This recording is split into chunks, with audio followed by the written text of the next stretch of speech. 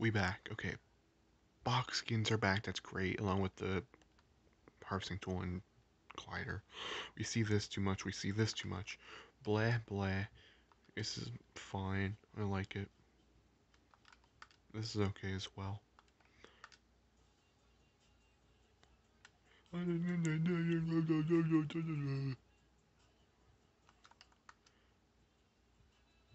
I would recommend getting this one because it's it's one of those like sync yeah it's a synced emotes.